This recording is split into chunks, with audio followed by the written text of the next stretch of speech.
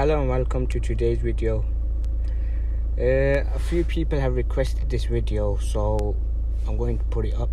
Um, wanted to see how do I fit an Android system in the Vauxhall Astra J. So I fitted this in a while back now, and um, it's been good. It's got navigation on it. It's got a reverse camera.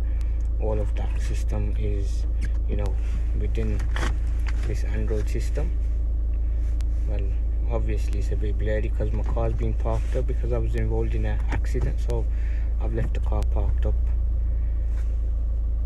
So to fit one of these in um, what you have to do is you you have a, a metal well a casing that goes on top of here to cover all of the gaps from the side. So what I've done is I've taken that off. That's very easy to do. You have to remove this first lift it up. And underneath here are one and two um, screws being there. You take them Torx screws out and you pull it up from there.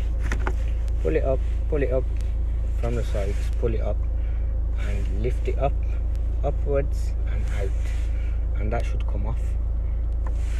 Then you're left with this that's in there then again that has another four bolts uh, which go in there.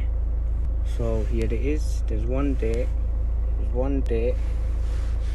There's one there. And there's one there. So once you get that off you come back down to having this. This is connected into there. You should have connection in there. Um, and a connection up there. Take that off and put it to the side. Then simply you remove the um, you remove this. You remove this and you remove that. All you're changing is um, I'm sure it's both of them. Change this and you change that. You just whatever wires you take out from here well you're gonna have a big chunk behind it let's dig in let's just dig in so here we go. I'll pull that out side the way. So basically you get this connector block for this device. This connector block is for this device. Now for the old one you're going to have to take it off. This is a chunk of a block.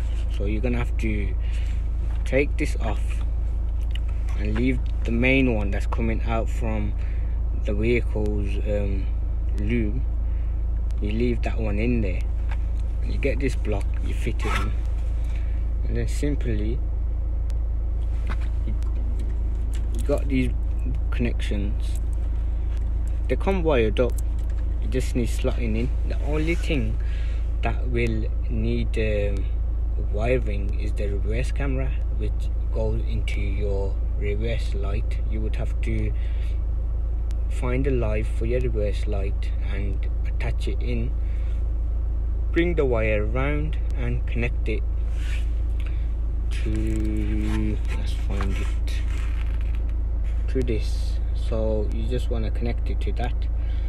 And um, yeah that's about it. That's all you need to wire in. But I find one thing hard about this is once you take it out, they give you so much wires in this that it's hard to put back together. So you want to put this on that side. Some of the wires can go on to that side, but trust me, it does go back together. Right. Another problem that I had with this was um, the indicator sounds um, they wouldn't appear um, I lost the you know all the buttons for the radio and all of that that are on the other system. Um, it was due to this this comes with the package but I forgot to put it on. So that's why the indicators uh, sound was not working. Um, any other beeping sound like if your seatbelt isn't on that will not work if this one little thing is not connected. It's another speaker that you attach somewhere, which I've attached over there.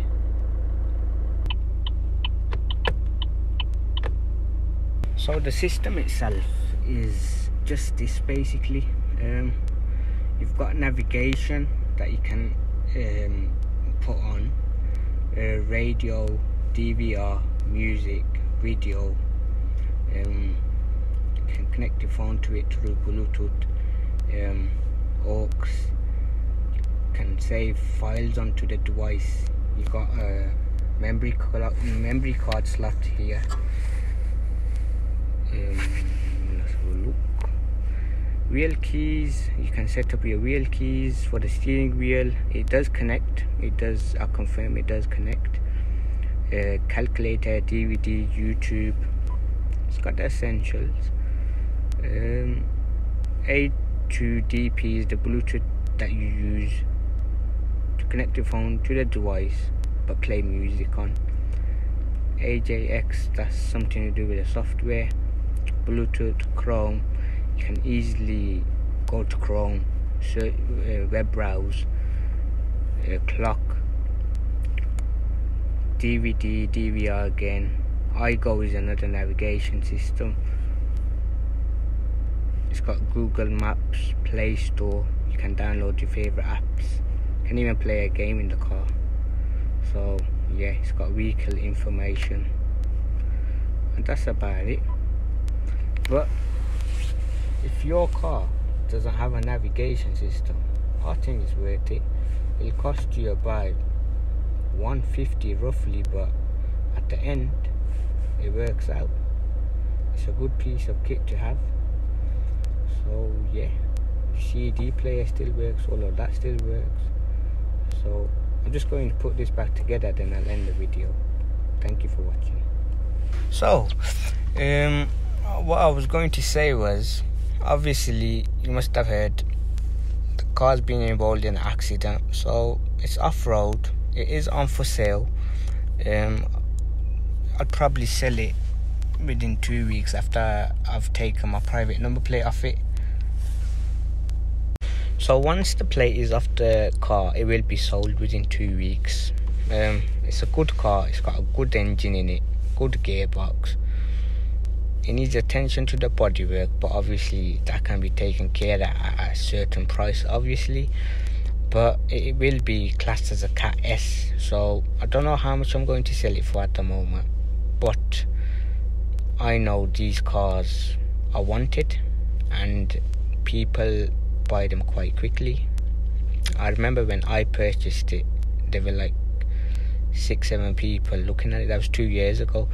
But the thing is that even if you go to view another Astra or you know one of the sport versions of these, you'll have a few people looking at them because they, one they're cheap, well they're fairly priced, just say, and two, the good cars. I've had no complaints within the two years. Serviced it, maintained it, and it's looked after me. Unfortunately, it's been involved in an accident, so it's got to go. I don't like a car that's been involved in an accident. Anyways, um, I'm looking at a few other cars. Um, Seat Leon, VW Golf, Astra J again. I wouldn't really mind. Um, or a sport version of this in petrol. However, my concern is I do a bit of mileage. Well, obviously this car hasn't done that much for for a 2013 it's just done that much.